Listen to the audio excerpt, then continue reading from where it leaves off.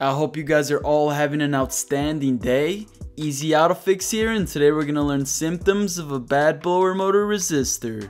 The purpose of the blower motor resistor is to control the blower motor speed. It does this by restricting the amount of power being sent to the blower motor.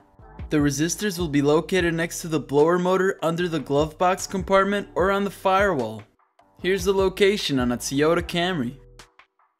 And here's the location on a Suzuki Forenza.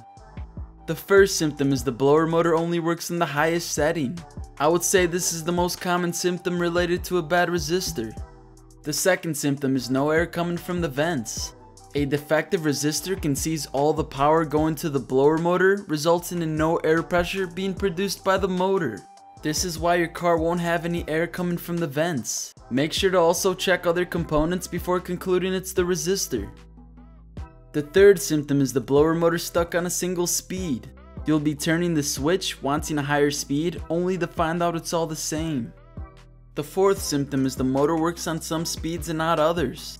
Now the reason why resistors can fail could be due to a defective blower motor. It would increase the amperage which causes the resistors to overheat.